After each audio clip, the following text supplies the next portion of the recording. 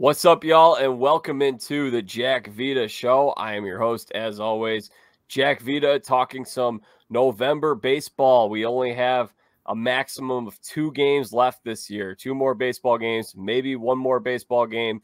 The Philadelphia Phillies have fallen. Now, they're not out of it, but they're down, and the Houston Astros have taken a 3 2 World Series lead. The White Sox have named a new manager. And I'm sure we'll talk some other baseball along the way today. Uh, last week, we had a great show with 2008 World Series champion Kyle Kendrick, who's actually been in Philly uh, for the festivities this week. And today, we're speaking with another former player. Uh, seven years, eight years, eight seven years. years yep. Okay, seven years in the show. Uh, White Sox, Dodgers, Blue Jays, Indians. Nice. oh, that was off my memory, man. I don't even have the note sheet here. Well done. Michael I have trouble remembering it sometimes, so very well done. Uh, speedy outfielder Dan O'Dowd once said, I mean, he said this. He said, great defensive center fielder and even greater person. Michael Huff, glad to have you here. How you doing? Oh, great to be back on the show, Jack. Doing well. Thank you. Yes. So we did this earlier in the season. Uh, I don't think either of us had the Phillies getting this far. This is quite shocking. No, and, and, we might have actually talked a little bit about one of my teammates in college, Joe Girardi, who had maybe just gotten fired. Um, we had, you know, they did it up it in right Toronto. Things worked out really well. We did it, uh, you know, they did it in Philadelphia. Things worked out really well. Both teams got to the World Series, and um, as I'm sure you've talked about, sometimes it takes whatever the sport football, basketball, baseball. Do you get hot at the right time? Do things start to click at the right time? And for Philly, it really seemed like, you know, things came together for them perfectly and they were just got on a little bit of a roll, started believing in themselves. Um, not just the the the multi-year, multi-million dollar star players doing well and coming through, but you had your role players like the Mike Huffs that were contributing. And when that happens, you know, any team can be dangerous. And Philly definitely got hot at the right time. What year was that for you?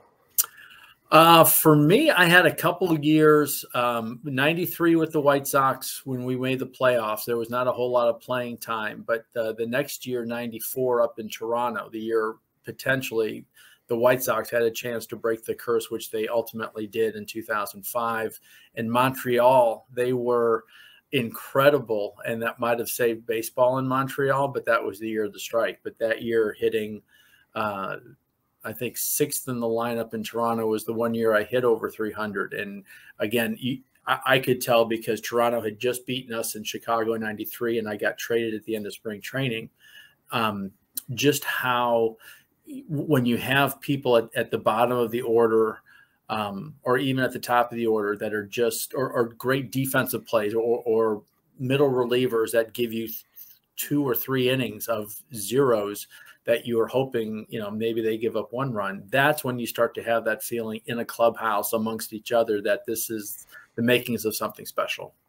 Yeah i think something that's really impressed me about the phillies is I really think their team chemistry has been a big part of this because yep. there's something with they get up to play every game, especially when they're in that ballpark. I mean, prior to these last couple games, they were 6 and 0 at Citizens Bank Park, but they didn't just do it by winning all their home games. They had to go to St. Louis and win those two games in St. Louis.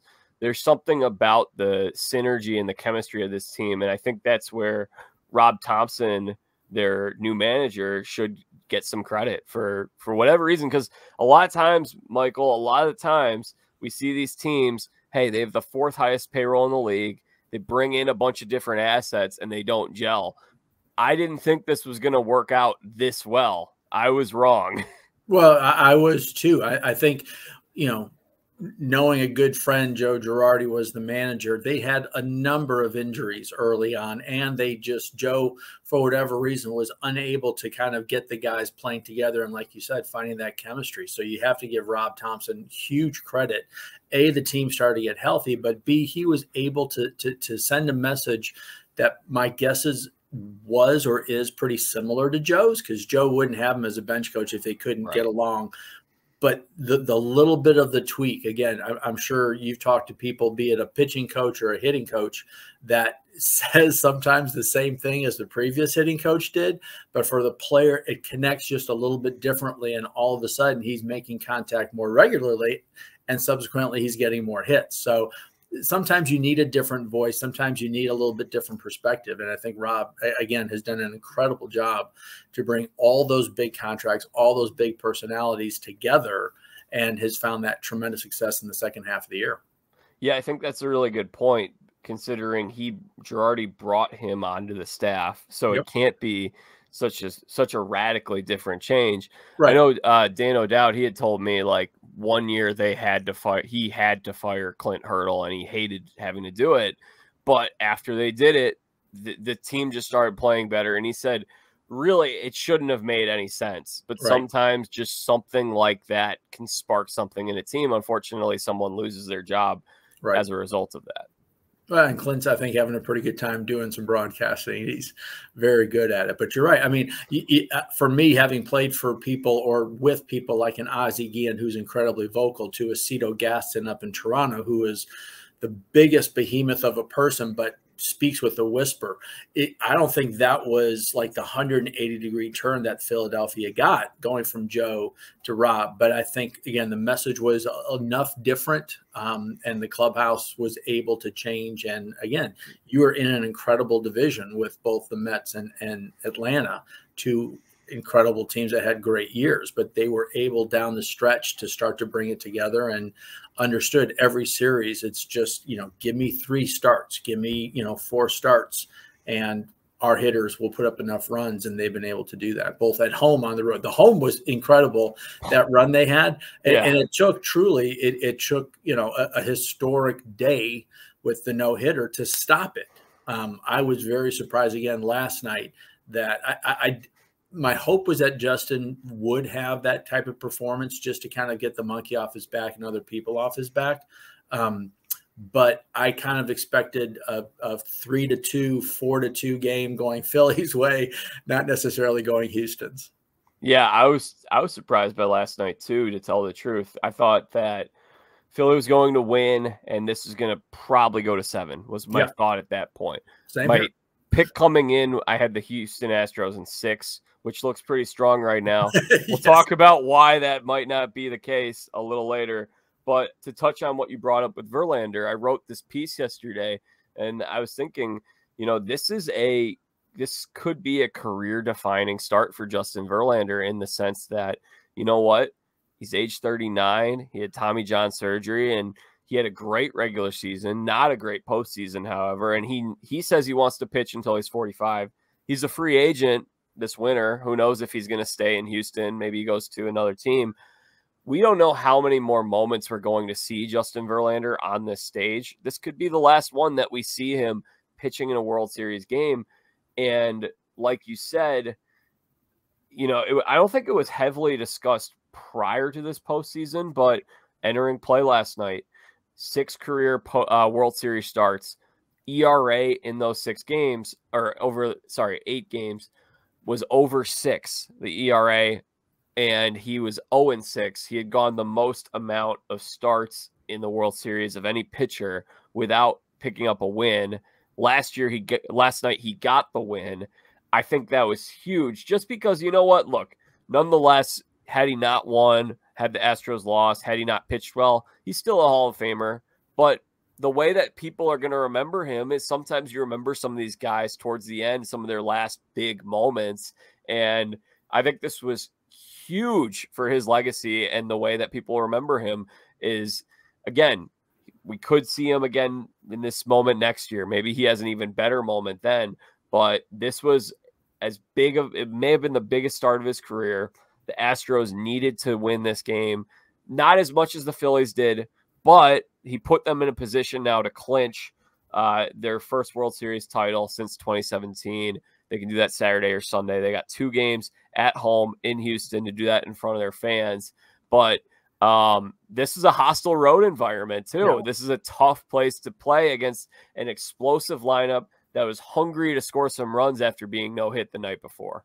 Well, and and think about how they started the game. I mean, Schwarber hits a home run, so you know, in the back of everyone's mind for Philly, it's like, yep, we're going to get him for at least six because that's what he's done historically in the World Series. For Verlander's, like, are you flipping kidding me? Like this, this can't really be the case. And so again, tip your cap that he was able to, you know, weather that storm and a couple others and pitch the way he did to get them into a position, um, allowing Houston to get a few more runs and and get the win. I thought Dusty man, uh, Dusty Baker managed his pitching staff very well last night. I like what he did a knock on him for years has been he that he sometimes leaves the starting pitcher in there too long. He pulled Verlander, Verlander after five innings, turned it over to their bullpen. Bullpen did a great job. And now Houston is heading home with a 3 2 lead. This series flipped 180 degrees very, very quickly because it was yeah. starting to look like, hey, you know what? Philly might close this thing out at home.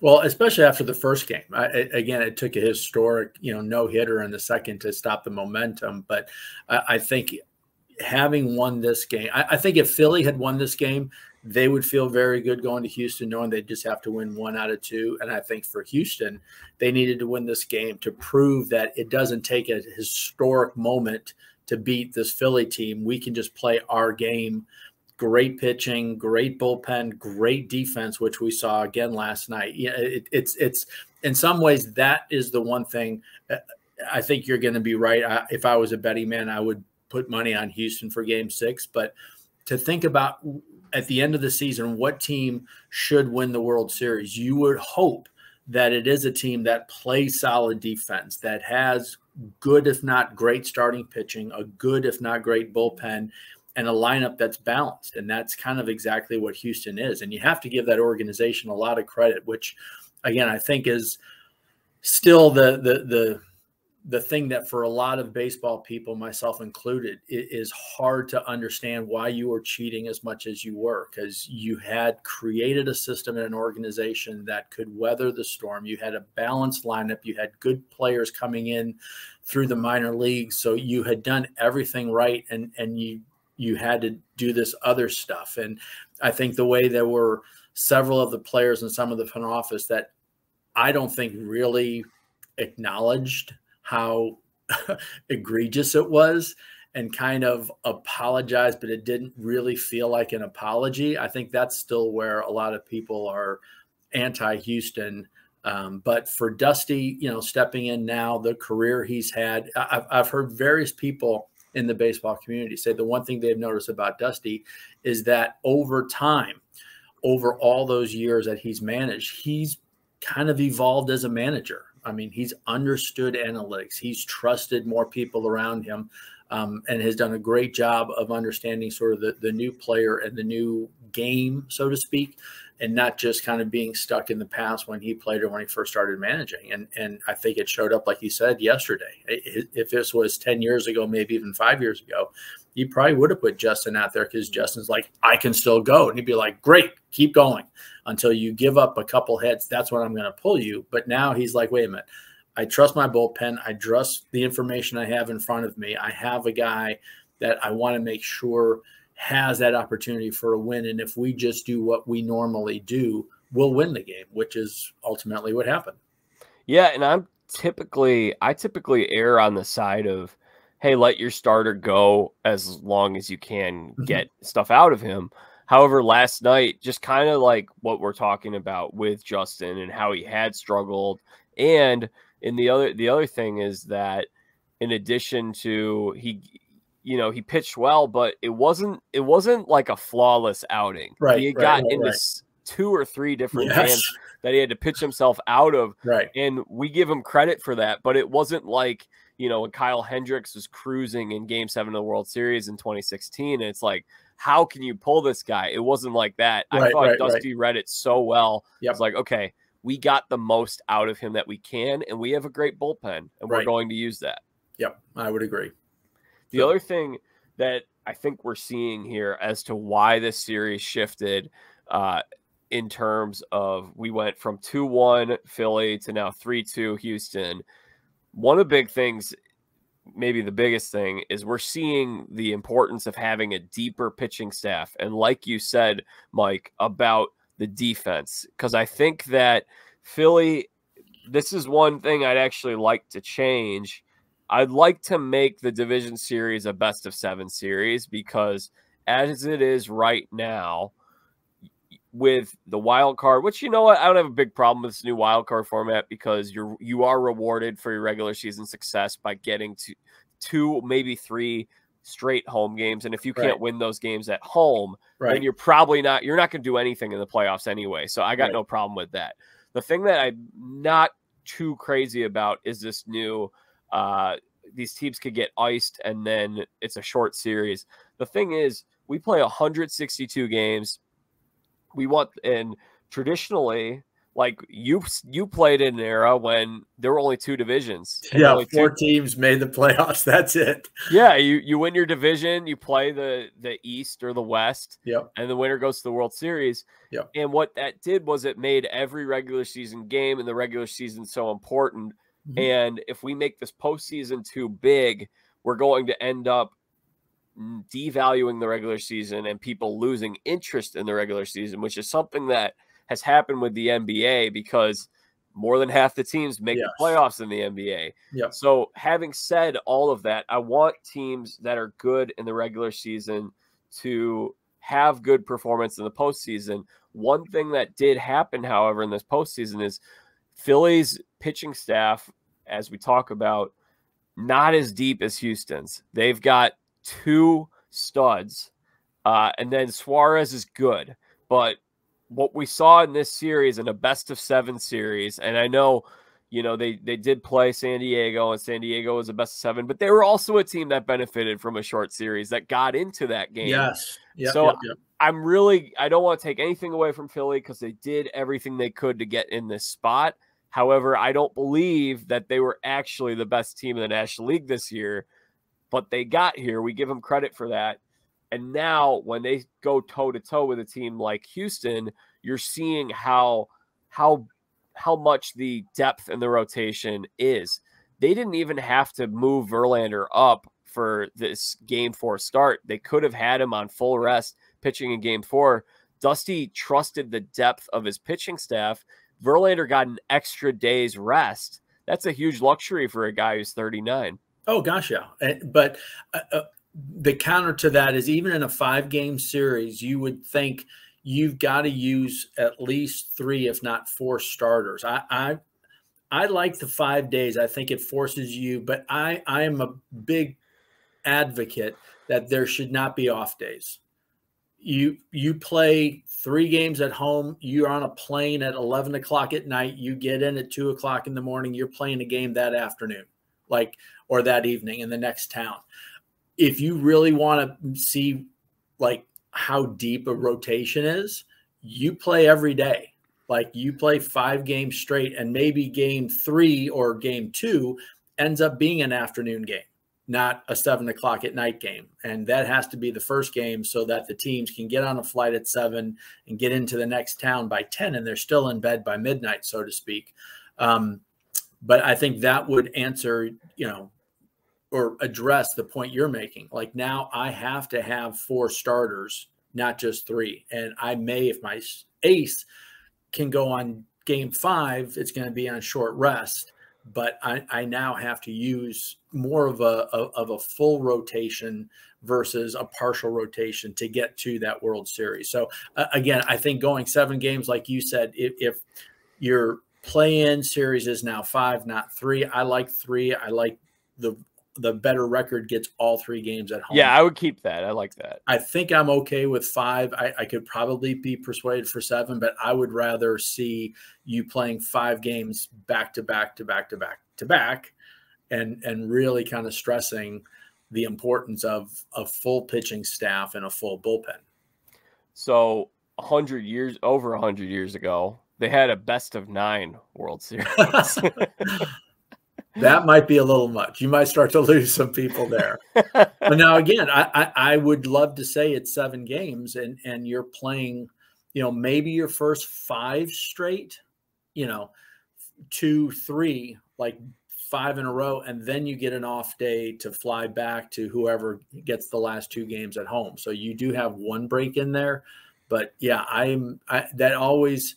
And I understand the TV and I understand the whatever. And it's, you know, if, if it's LA, New York, the way it was so many times in years past, that's a, that's a long flight and that's hard on the body to adjust. So I kind of understand that, but there's still a part of me that feels like, well, you had to do that during the year anyways.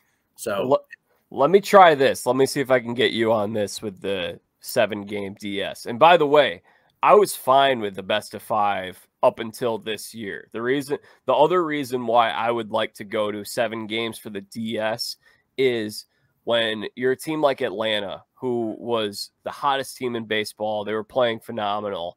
And you know what? Maybe they don't end up winning that series if it's a best of seven. I'm not saying that they do, but they certainly cooled off in that week off that they had.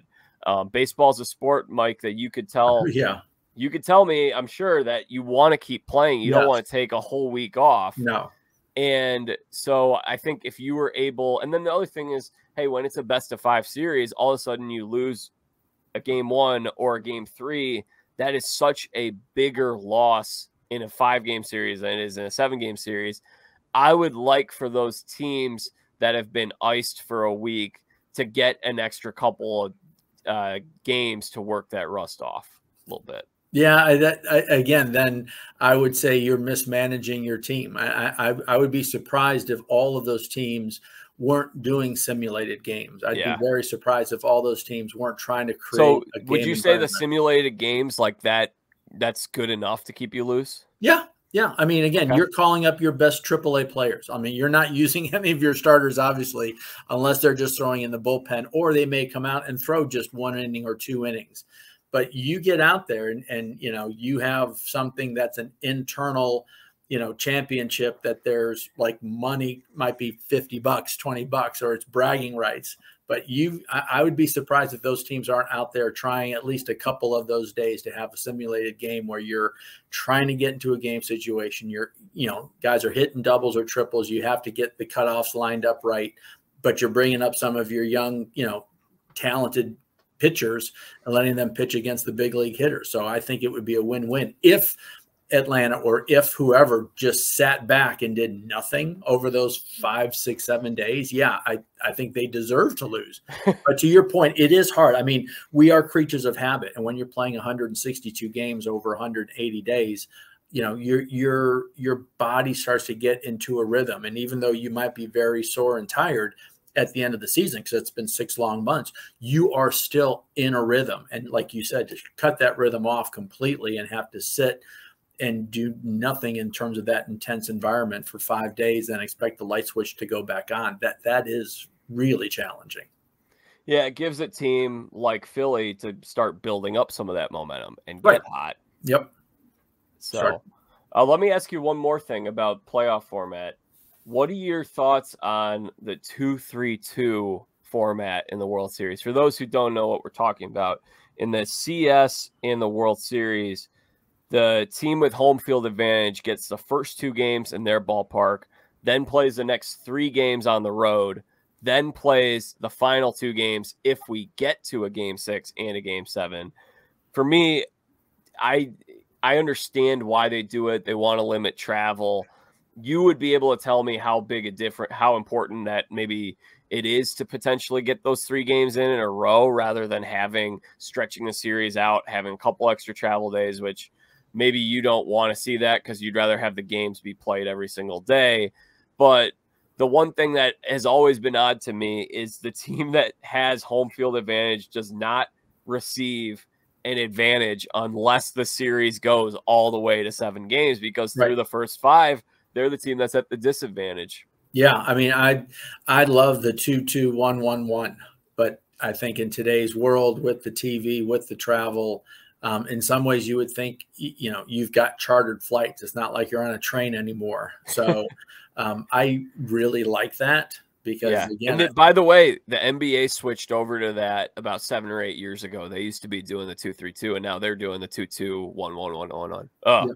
too many ones. Sorry. That's okay. I know what you mean. Two at home, two on the road, and then home away home. I I, I like that a lot Um, I think it gives the home team the advantage to try to get those first two, but then you get to the second two. And if you're splitting both, then great. It's a best of three, but I still get two games at home, but I'm not putting them right back to back. I, I'm making it, again, as equitable as even as possible with the understanding that the better record the better team gets the four games at home versus three games on the road. So in the perfect world you know we have faster planes and this can happen. And the guys are you know even if it's a new york to la you know it's a two hour flight not a six hour flight. And the guys bodies you know adjust just fine. And i know that you want to get the season done by a particular date but there's there's also a level of like you know what it's the last series of the year. And even in the CS, it's like, okay, we're really winding down. If we have a rain out or some, for some reason, this series ends up taking a little longer, I don't really see that that as a big problem. I maybe I'm missing something. No, no, no. I'd be happy to bring it. I mean, again, if you want to extend the playoffs, bring it back to 156 game season. Yeah, that'd be 162. Fine. Yeah, take a couple series out, one home and one road, take six games off the plate go to the players, go to everybody and say, you know, we're going to cut your salary by 6% because we're cutting revenues by 6%. I don't think anyone's going to have an argument with that. From money's coming in to money's going out, it's still a lot of money. And if you're taking that much off to get that much time for your body and to make the game better, uh, the games, like you were saying, more impactful in a shorter period of time, I, I, I would be more than two thumbs up for that. And then, like you said, now you can change up the playoff format by adding some more games because you have some more time to be able to do that. Yeah, I actually so the one thing is if we cut the amount of games, ticket prices will be a little more expensive. I don't think it would be terrible though if it's six less games. That's three less home games. Or right. and then the other thing is it's like you said, I don't know when 162. I'd have to look to see what year 162 became this like round number that we play every single year. But that has not always been the case. At one oh, point, oh, right. I, th- I think they played 148 for a while. Yep. So even if you went all the way down to 148, I would not have a huge problem with that. I would have a problem if you significantly cut it. And now we're talking about 120 games, which right, I, right, I've had some friends say, "Oh, you know, they should really shorten the season and let more teams in the playoffs." And I'm like, "You're you're not a baseball fan. I, am sorry, I'm not taking right. your opinion seriously. Like that would not be good. We we it's good the way it is, but it, we could if we caught a few, I don't think that'd be a problem." Right. I think the whole reason for the expanded playoffs was to give more teams that chance of did I have significant injuries early in the year? Did I, you know, bring a, a, player over, make a trade midway through the season, and that player took a while to impact our team? So I like the fact that for baseball, you've expanded, but you've expanded nominally. You've yeah. allowed some of those other teams, again, in a division that has a, a, a New York and, and an Atlanta that are just you know playing at the top of their games, and it takes you a while to find your stride but you're still a really good ball club, as we have seen that with Philly in the World Series. Um, so, yeah, I, I, I, don't know how much more I would want to expand it. Um, I think the three, five, seven was easy, and, and, it was a concept that the players could buy into and the owners could buy into. Um, I think the fans have bought into it. And again, I think there's always ways that you can tweak it to make it a little bit better. And I'm fine with the tweaking. I just, to your point, I don't want to turn this into a basketball or a hockey that you know a third half the teams are getting in the playoffs because then it just diminishes why are you playing 162 games just play 100 games and make the playoffs that much longer yeah and i think that would be terrible because yes then no one would care about the right. regular season no one care about the rivalries right. when you get like how awesome was that braves mets uh race at the end of the year and oh, that's yeah. that is one of the downsides to expanding the postseason is because like aside from that, we didn't really have anything that was down to the wire. The Brewers and the Phillies were going for that last spot, but there's no rivalry there. It's not right. like that's a big thing. And neither team was playing very well at the end of the right. year. So right. Uh, I would have personally waited to expand the postseason once we expand to 32 teams, which I think is going to come eventually. And then you could basically adopt what the NFL's format used to be you could even have four different divisions. I think that would be perfect. I would love that. Right. We expanded before that. That's fine. But let's not let's not make it any bigger. I think this is a pretty good number for now. And if we add or when we add two more expansion franchises, whether it be Nashville or Charlotte or Vegas or San Antonio, Austin, wherever it is that they want to go to in these uh, in these expansion franchises, then the six is going to be an even better number because there'll yeah. be more teams fighting for fewer spots, and I think that then you'll have a team. This so Phillies 187 maybe now you're looking at a team that's winning 88, 89 or 90 as that last team into the playoffs. Right. Totally agree. Yeah. So we'll see what happens. Uh, obviously, there's a lot to dissect, dissect with this series. Um, another thing I, the reason why I mentioned this is yes, the Astros are the favorites to win now, um, as they were this whole series. And now you expect them to take game six the one thing I will point out, however, is that this is a very familiar territory with the Astros. The Astros have been in three of the last four World Series, and in each of them, they played a different National League East team. Yeah, it's crazy to think about. And that's that's I think pretty remarkable. If a division sends three different teams to the World Series in four years, tells you a lot about um, the front offices and player development, all that stuff the strength of that division because there are some other divisions that are quite not not yeah. quite that strong. No. Um, but what I'd also add, in addition to that, is that the Astros were in the same exact spot three years ago against the Nationals, wild card team, National League East, had a 3 2 lead going yep. back to Houston, and they laid an egg and they lost the first game 6 to 2 or 7 to 2, and then the next game 6 to 2. I am certain that the Astros remember that. oh yeah, there's billboard material. They're talking about yeah. it on the plane, and I'm sure you know the things that Dusty is saying is that that was that team. We're a different team. Like that team had these strengths and weaknesses. Ours are different. That team had these players. We're different. Like let's get back to playing our game the type of game that we have played all year, the type of game that we have played, you know, and I, am sure Dusty's like, you know, we're not going to play like we did in game five. Let's, you know, we're not pitching a no hitter. Like we're not going to have a team pitch a no hitter, but let's think about what we did in game five. And I'm sorry, in game four. Let's think about what we did in game five. Let's think about what we did, you know, in, in the win at home and, and, and playing that complete game. And I'm sure that's what he's getting these guys to focus on. Part of what's been really remarkable about the Astros. Obviously, they did some shady stuff, uh, which we we've already touched on. Mm-hmm. But the thing that I think is really remarkable is how well that they have drafted and developed players. Because oh, yeah. I'll give an example: Jeremy Pena. He's probably gonna. He's definitely gonna finish top five in American League Rookie of the Year voting mm-hmm. this year. He's probably he's not going to win it. Julio Rodriguez will win it, but I mean, this guy looks like a superstar. I was yeah. just thinking about this, Mike. Would you rather have Jeremy Pena or Carlos Correa right now? I would probably, I think I'd take Pena because he's an even better defensive player.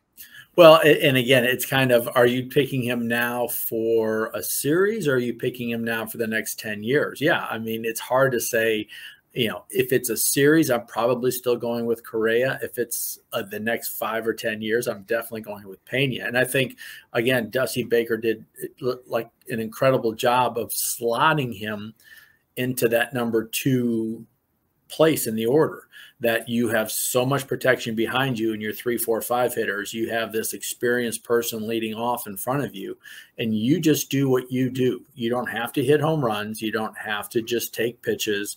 You just be you because you are very good. And oh, guess what? You're going to see a lot of strikes because no one wants to walk you, especially if Altuve is on base because you got Alvarez and all these guys, Tucker coming up behind you. So you want to talk about the perfect place to put in a rookie.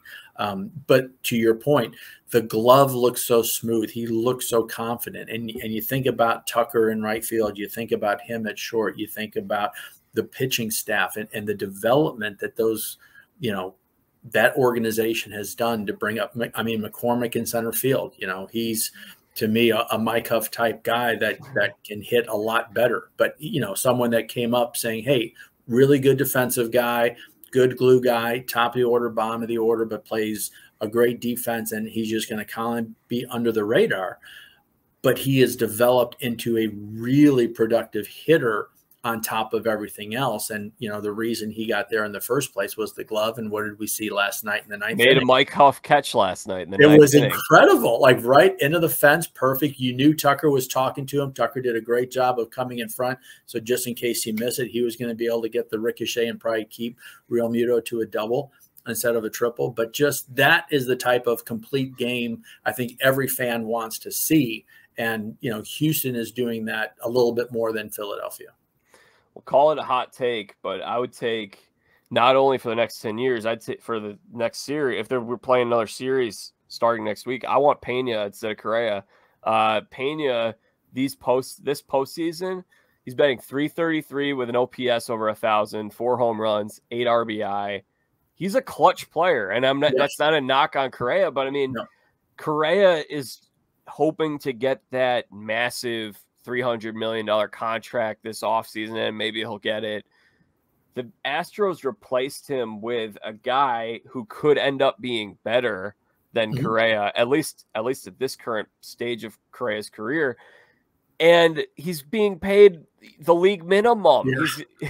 it's allowing you to pay a lot of other people a lot of money when you have people like he and Tucker that are at the bottom of that pay scale. So again, I think that's that's the reason I think so many organizations like tip their caps to Houston right now is that when you can bring up and and fill a leaving superstar with someone that you're hoping is going to be at 80 90% of what the production was but at a tenth of the cost now all of a sudden it's easy to kind of spread that money out and and, and fill other holes. Well guess what? Like you said pena isn't just 10% less than Correa. He is definitely equal, if not in this series, proving that he's better.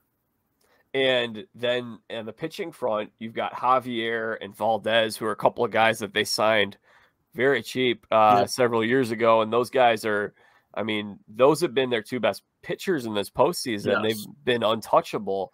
And then the other one I thought about, and again, the, the reason why I'm highlighting all three of the guys I've highlighted and the next name I'm about to bring up, none of these guys were, oh my gosh, this is a can't miss prospect. Mm-hmm. No one was talking about Pena. Um, the Astros farm system rankings for the last couple of years have been kind of towards the bottom in terms yep. of uh, MLB.com. And I think it goes to show, you know what?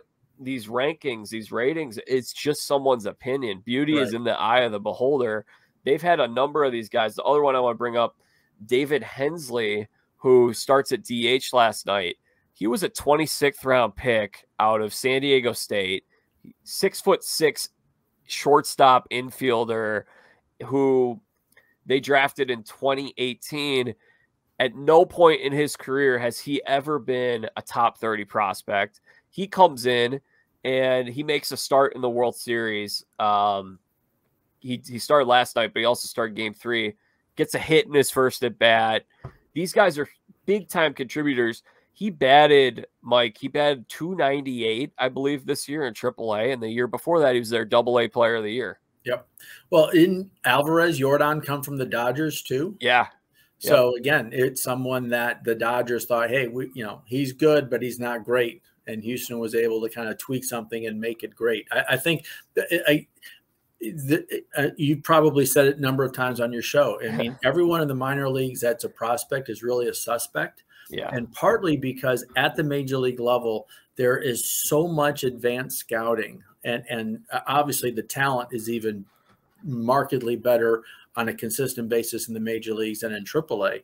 But with all of the advanced scouting, all of the technology that's happening, you can have guys that are hitting 250 in the minor leagues and all of a sudden they get to the big leagues and they're hitting 250 and you're like well i didn't see that coming but all of a sudden that 250 now has 25 30 home runs instead of 15 or 20 and other guys that are hitting 320 in the minors they get to the majors and and they are hitting 220 because the advanced scouting, their one hole in their swing is now just getting abused because every pitcher, or at least three out of four, four out of five, is hitting that spot consistently. And now that guy is rolling over and popping it up instead of getting the singles or triples or home runs he did in the minor league. So it, it is, people would ask me, you know, when I'm speaking to kids or, or parents at times, like what was the biggest jump? We always hear like A ball to double A because there's two or three rookie teams, two or three A teams, only one double A. And I'm like, heck no.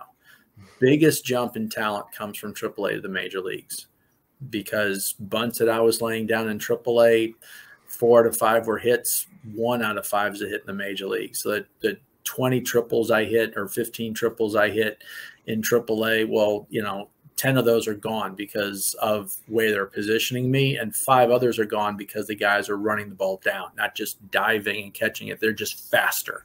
So like everything is different when you get to the major leagues. The, the rollover three hopper to short in the hole that i'm safe by a step. I'm out by a step because the shortstop is just that much better and has that much of a better arm. So um, it, it is neat to see certain organizations again sometimes that different voice in the ear um, be it a hitting coach or a pitching coach. Um, the confidence, which is huge in baseball, to actually believe you belong, not just think you belong, and then to have success that reinforces your gut saying, Yes, I do belong here. And yeah, I may have a bad series or a bad week or whatever, but I belong here. And I think we're seeing that with people like McCormick. I think we're seeing that now with Pena. I, I mean, we've seen it with Alvarez, people coming into the organization that all of a sudden hear a message a little bit differently have some success, partly because, again, the one year I hit 300 in Toronto, when you have people like Paul Molitor and Joe Carter and Robbie Alomar Jr. and John Olerud and Devon White hitting around you, it's like, yeah, when I get up to the plate, it's like, oh, it's just Huff. Who cares? And it's right down the middle. Well, same for some of these other guys. Pitchers are so worried about who's in front, who's behind, if I roll over the lineup, but sometimes they actually breathe a little bit because it's only a McCormick or like you said, it's only a Hensley. It's now all of a sudden a pitch that they can hit. And because of their new thought process or, or the coach tweaking something a little bit, the swing is just a little bit smoother. And now it's a base hit. And now like the lineup rolls over again and you're winning another ball game because the top of the order is getting five at bats, not just four. You were on one team that made the playoffs, right? Or 93 White 93. Yep. and so I'm I'm curious, did you feel a noticeable difference when you stepped into that ballpark in the postseason? Oh yeah. Regular season? Well, I actually not so much the postseason. The postseason it was kind of like, you know, all of the the corporate seats were taken by corporate people. Instead of during the season corporate seats are like oh give it to joe the salesman or the dock worker and you had like really rabid fans. Also in the playoffs you have to share the seats with all of major league baseball. So when we were against the blue jays here and it was so frustrating because we lost all three games at home against toronto. We won two out of three up in toronto. Um, but it, it there was a, a markedly different vibe in the playoffs than there was leading up to the playoffs. And as as a player, leading up was a lot of fun because it was a lot of Chicago people that were like living it with us and getting to the playoffs, finally beating the Oakland A's, which had that great team and that great run with Canseco and McGwire and all those guys, La Russa, you know, Eckersley was their reliever. You had, uh, you know, the Dave Stewarts, the Ron Darlings, a great pitching staff. Um, so beating them and then getting to the playoffs was a lot of fun. When the series came, in the practice before, um, Gene Lamont, who was the great bench coach for Leyland all those years with Pittsburgh and was our manager that year, tried to explain to us in the clubhouse before the practice day how, you know, as much as I want you to feel like it's different, I want you to feel it's the same. It's going to be different. So just embrace the fact it's going to be a little different, but I want you to think and play like it's just a regular game. And we're all like, yeah, whatever couple of guys who had been to the playoffs, like George Bell, were like telling us a little bit about what it was like. But when we came out of our clubhouse, down the steps, and through the doors into the dugout, um, there were, and we have a pretty long dugout at Guaranteed Rate Field. Um, there had to be three deep reporters from one end to the other. And I remember as I'm walking up, I think it might have been another role player, Warren Newson, or it might have been um, Tim Raines uh, that I just, or no, it was Lance Johnson as we're coming up and we're seeing all these people and we're trying to work our way through, I look at him and he looks at me and it's like, yeah, this is different, isn't it? yeah, it's different. Um, so again, neat that the veteran players, the guys that have been there before, how much experience truly matters in playoff situations. And again, I think we're seeing with both clubs because both teams have plenty of guys that have been to the playoffs or, or have had that type of pressure situation on a regular basis how they are able to relax, to slow the heartbeat down, to make it feel just like a game. And whether it's offensively or defensively, just you know trying to as as the crowd gets louder in your ears it gets quieter and it just becomes white noise that you can just focus on the baseball focus on where you're supposed to be and then reading the ball off the bat making the play whether you're an infielder or an outfielder Mike, uh, we've only got so much time left, so let me get your pick here for what's going to happen. What you got? You think Astros close it out here in six? Yeah, I do. I, I think it. This is one of those that um, I, I, think they've been there enough. Like you said, there's enough billboard material from when they lost um, to Washington that they're going to be able to just play their game. And, and I think the way they have played you know, great pitching game four, great defense, good pitching, solid hitting in game five. I find it hard to believe that they're going to lose in six. Um, and if they do, I find it very hard to believe they're going to lose in seven. So I think your pick of, of Houston in six makes sense. Worst case, as much as I want Philly to win for a lot of different reasons, I think Houston's going to get it. If not game six, they'll get it in game seven the X factor to watch for in game six is Zack Wheeler because yes. Zack Wheeler against San Diego is like you've got to be kidding me. Now again, does does Philly turn around and have that no hitter type from their starter and bullpen? Yes, they have that capability, which again, it, it almost feels like that's what has to happen. And when you tell a pitcher or that pitcher feels like that's what he has to do, usually good things don't happen. You want that just to naturally flow into a game. But I mean, I don't know if he might be putting himself in that situation of thinking I have to pitch perfectly. Um, because if he does, again, I think it just bodes well for Houston. Well, the thing with Wheeler that I think will be really interesting to watch is well, last week when I spoke with Kyle, he said he was surprised that Wheeler wasn't going to be a game one starter because Wheeler is their best pitcher. And I would agree. I think he's their ace. Yep. Last year, I think he should have won the Cy Young. However, it was very interesting over this past week. He did not pitch well in game two of this World Series, which was last Saturday. Yep. He's going to have a full week of rest. Rob Thomson had said he got asked about their pitching. I mean, he could have thrown Wheeler in that game five instead of going to Syndergaard, which you would think that's something you would want to do. However, Thomson had said that Wheeler's been fatigued. He wants them to get some extra rest. So that's something that I think is something that's very important to watch for because he did not look anywhere near as sharp as he had been uh, prior to um, that last game. So it'll be very interesting to see what do they get out of him. Perhaps his perhaps he is fatigued, perhaps he's kind of running out of steam here. Maybe he can grit through and give them a nice five or six innings mm-hmm. with no runs or one run. But that is going to make a huge difference because if he is looking the way that he did in game two, with Valdez on the mound, who is the Astros pitcher I least want to face right now. Same here. Yeah. So I, I also will favor the Astros. I bet key is Astros got to play to win game six. Can't think about we got right. two chances. You got to go for the kill right here. Yep. Yep. Especially if you have a lead. It's like you got to, you know, there's, you know, the two schools of thought. Look, if, if it's three to two in the fifth inning, do we start to go to our best bullpen or do we, because we just used them two days ago, do we possibly save some of those guys if there is a game seven? You like you said, you can't be thinking that. If Houston has a lead, I'd be very surprised if Dusty doesn't try to go back, especially because there's a travel day, go back to the same bullpen setup that he did in game five. So, Michael, you work for the Chicago White Sox and you are the director of youth baseball. You played on the Sox the White Sox hired a new manager this past week. And by the way, can you see what I love your chapeau? Yes, I, I meant to say something.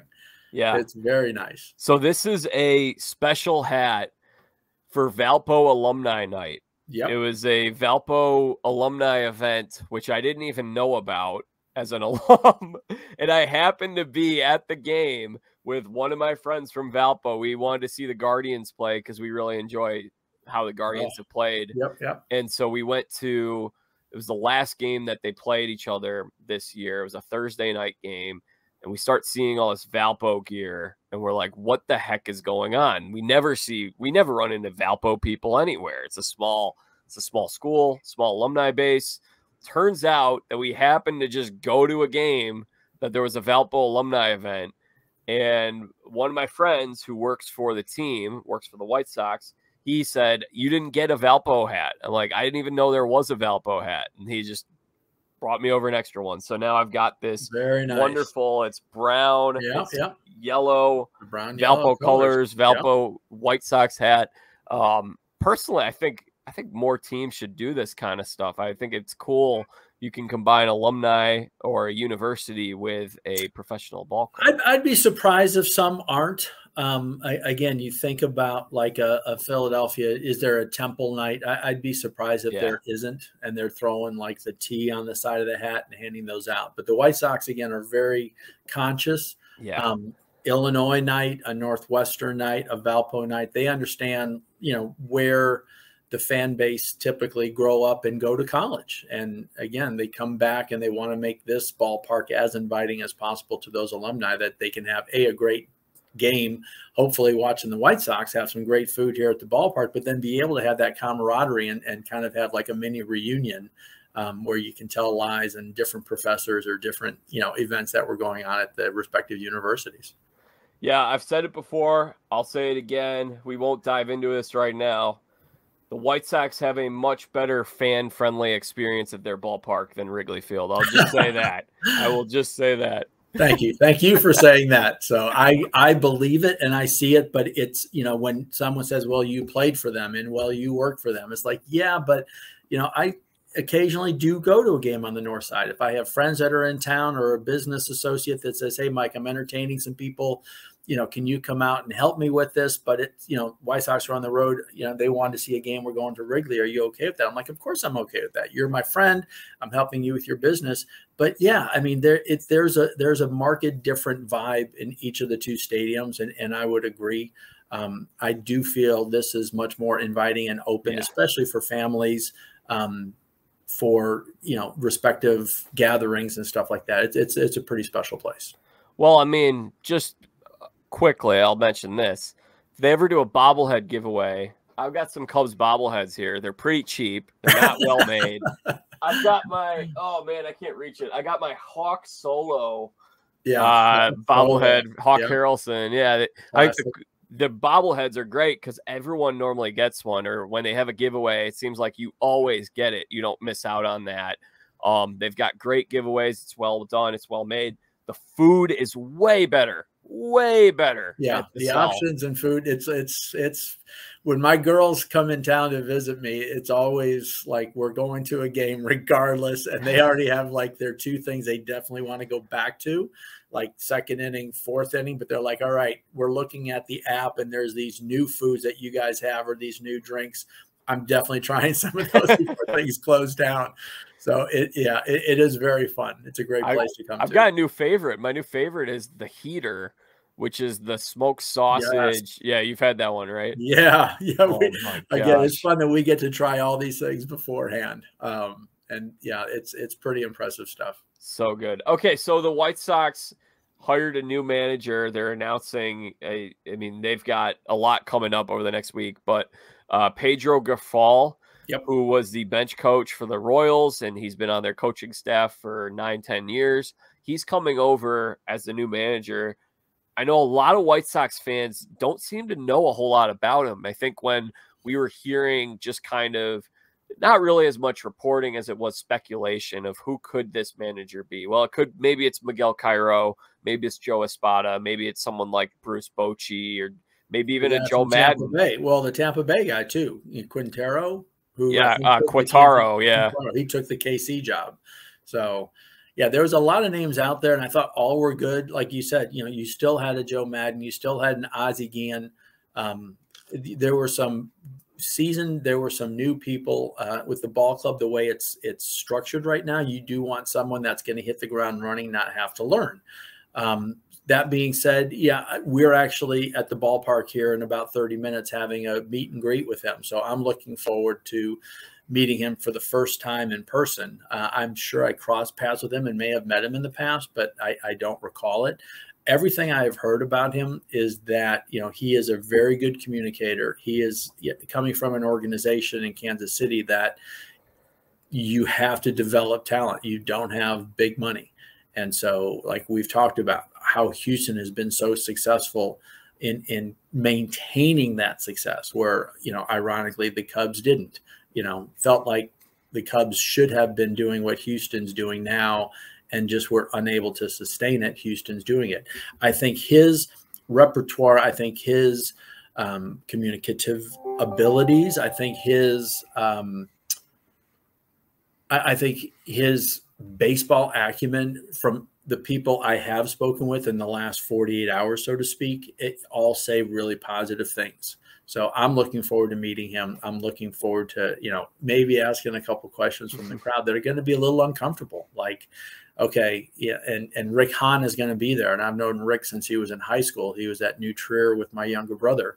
Um, you know, last year was an underachieving year. You know, there were injuries again, but you know, there were players that they were injured that were being told to a degree you know, don't run too hard. Don't go after things too hard because we can't have you get re-injured or injure yourself further. Like what's going to be the message when you have someone that is underachieving in terms of talent, in terms of mental ability, you know, what are the things that you are going to work on over the winter and in spring training to try to avoid those things going forward. So I'm very excited to meet him and ask him you know, some challenging questions.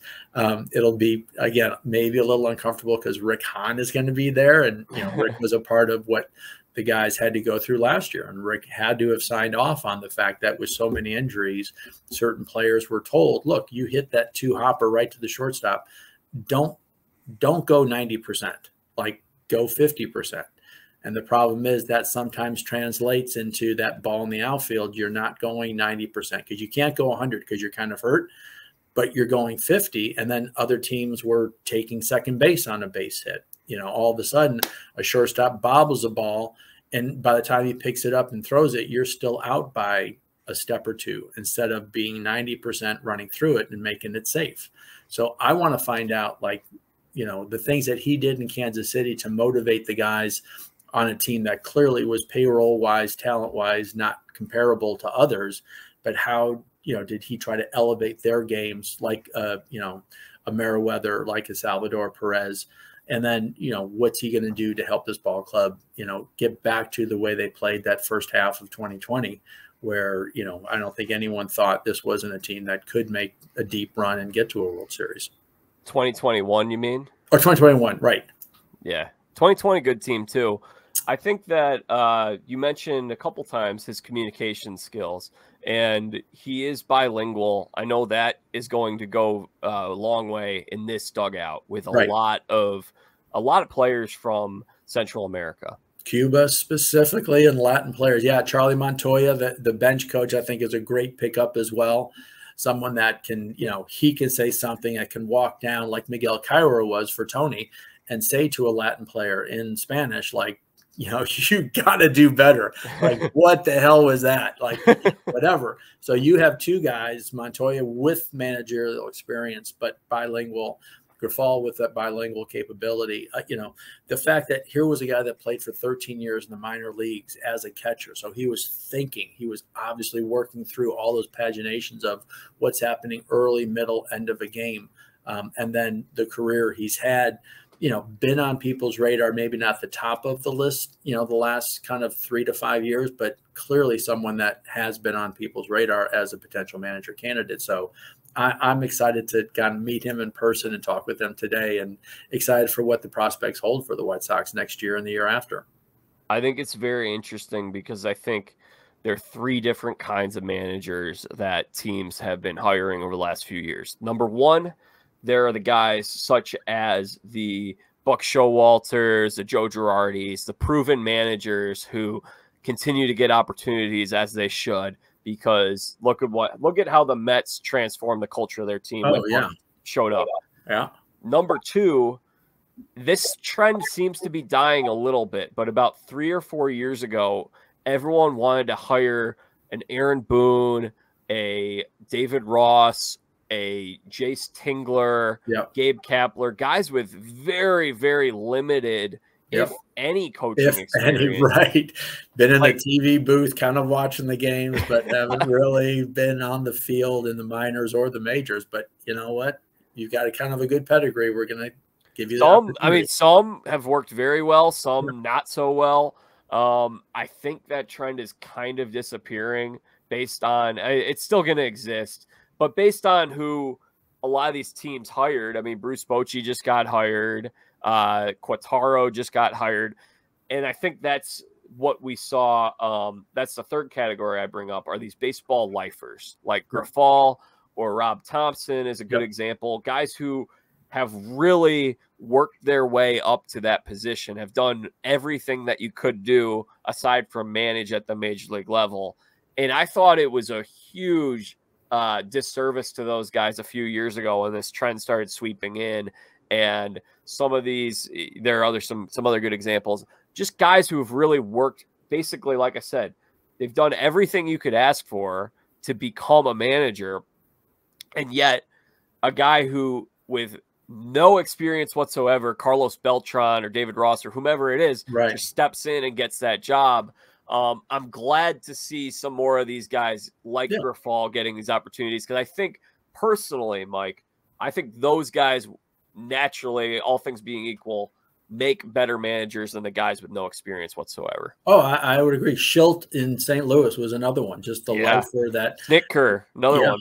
Right. Um, it, it's that in some ways you, you want that big splash. In some ways you want it to give your fan base that recognizable person uh, the person that had success and that someone as you talk to feels like he can have that success again.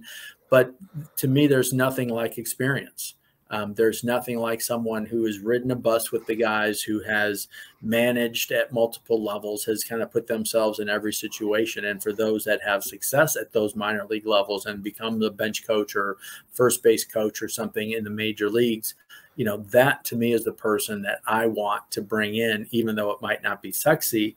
Um, it's someone that I truly feel like will help my ball club get to the playoffs or not just get to the playoffs, get deep into the playoffs. We all know, again, you can get hot, you can have an injury to win a World Series. Sometimes it's luck as well as as skill. But how do you put yourself in a position to get to that World Series on a consistent basis, like Houston is doing? And I agree with you. I think it's those people that have the experience, um, whether it's major league or minor league, but they also have to understand that the analytics are analytics for a reason. It's like it, this is non-biased. You know, this guy hits a ball to this part of the ballpark every time when you throw this type of pitch. So let's put three people over there and have our pitchers pitch to that spot because he's going to hit rocket after rocket after rocket right there. And if we have two guys there or three guys there, he's going to be out versus just saying, well, go in, out, up, down, change speeds, and let's have our, our team like sitting in normal fielding positions. No, no, no. You, you, have to understand the analytics and know when and how to use them. And then again, to, like we've talked about, you have to trust your gut, which is where I think those lifers, you know, even you know the Dusty Bakers have learned how to say, you know what, I know this is what the book is saying. I know this is what the analytics saying, but right now I'm seeing with my eye, my pitcher is just sinking it, sinking it, sinking it and that means the guy's going to roll over ground balls or that means the guy's so i'm keeping my shift not quite as far. I'm keeping my players here just because i'm seeing in this game my pitcher is not pitching a normal game like we're asking him to. He's pitching something different. So i'm moving my players somewhere different. And that's what i want to see. I want to see managers managing. I don't want this stuff where the front office is basically telling the manager everything that they should do which right. I think happens probably.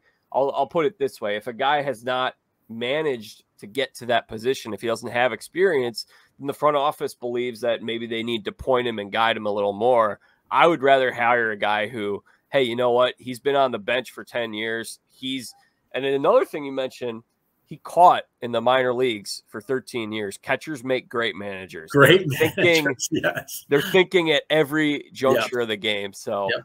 It'd be interesting to see what what happens here. Yeah, I'm very excited. Like I said, I'm very excited to meet him and very excited for the prospects here on the South Side for the next couple years.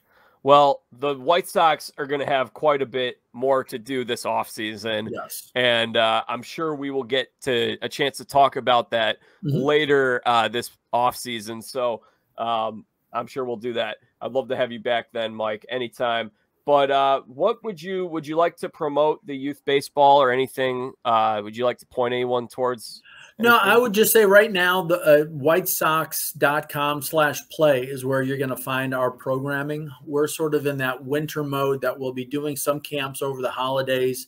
Um, my coaches right now are doing a lot of team training for other organizations as well as our travel teams. In the spring, we go very heavy working with little leagues on helping do coaches clinics and sort of teaching the parents how to run a first practice. So for right now, I would just continue to go to that whitesox.com slash play and just see when something is coming up. And, and if you are around for the holidays, you want to give your son or daughter something fun, please register them up. We do camp sort of western suburbs, sometimes a little bit further north and a little bit further south. But uh, when we talk when the season begins, uh, the fun, one of the fun parts of my job is our summer camps, which we do for kids five through 12. Um, and just let kids for a week long in the mornings or afternoons really kind of learn the game and have a lot of fun uh, do some progressive training. Everyone gets some tickets and comes to the ballpark gets to be a part of a ballpark experience. So it's that that's kind of one of the really fun things that we'll talk about after the first of the year. Awesome. Well mike i really hope that a month from now we're talking about some big free agent signing or trade that the white sox have made and uh, love to have you back to weigh in on that Love to do it, Jack. Thanks. Continue uh, success. Thank you. Have a great day, Mike. Appreciate you it. You too. Yep. All right. So that concludes our conversation today with Michael Huff. A great time having him here on the show. Great guy. It was a lot of fun talking with him. If you guys enjoyed today's episode of the Jack Vita Show, make sure you subscribe to the Jack Vita Show on YouTube, Twitter, Facebook Apple Podcast, Spotify. Like I said, I'm on those social media platforms. You can follow me at Jack Vita Show and then subscribe to the podcast because we're going to have more of this, more where this, there's more where, more of this where it came from. I don't know how to say it. More where, more of where this came from. I don't know. I'm sorry. I'm tripping over my words. It's an early morning. I'm tired. I was up late for the World Series last night. Uh, but we only got a couple games left. We'll be back after the World Series sometime next week to recap it. We'll talk about the new World Series champions. Could be the Philadelphia Phillies. It's not over yet, folks. They could do what the Washington Nationals did two years ago. It's a team that believes in itself and it wants to go to war together. So I don't believe this series is over quite yet. Make sure you guys check it out. We'll have some more conversations with great guests over the next uh really all off season. We'll be doing some probably do some college basketball talk, little NFL, college football. Um, now that we're moving into the winter sports, but we'll also be covering baseball as well. We'll have some more great guests on from the world of sports, from the world of entertainment, some Big Brother Survivor contestants. I can't wait for you guys to see who we've got coming on this show. So, like I said, make sure you're following along on social media so you'll see when I announce that I have a new episode and who the guest is going to be if you want to ask them any questions. And subscribe to the show so you don't miss any of the content that we have coming out. Okay, until our next episode, I'm Jack Vita. Bring in the dancing lobsters.